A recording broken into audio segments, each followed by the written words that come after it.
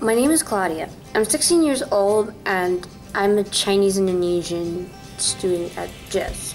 I was born as an Indonesian, but I have Chinese ancestors.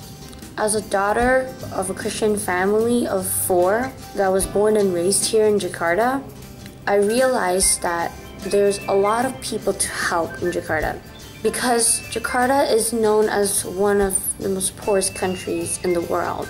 And as you know, Jakarta being a city that's economically growing, it still needs a lot of help with the poverty side.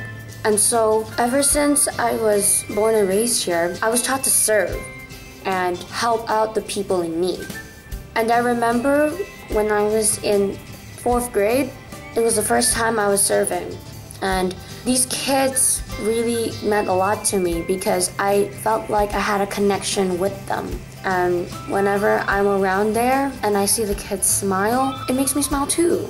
Because knowing that they love you even if they're a stranger to you, it makes me feel happy. It makes my heart flutter. And knowing that these kids really love to have fun with you, it makes you feel like you're a part of them and their community. When I get the chance to serve them, I spend the time I have very well with them because I want to make sure that these are memories and that I can keep them forever.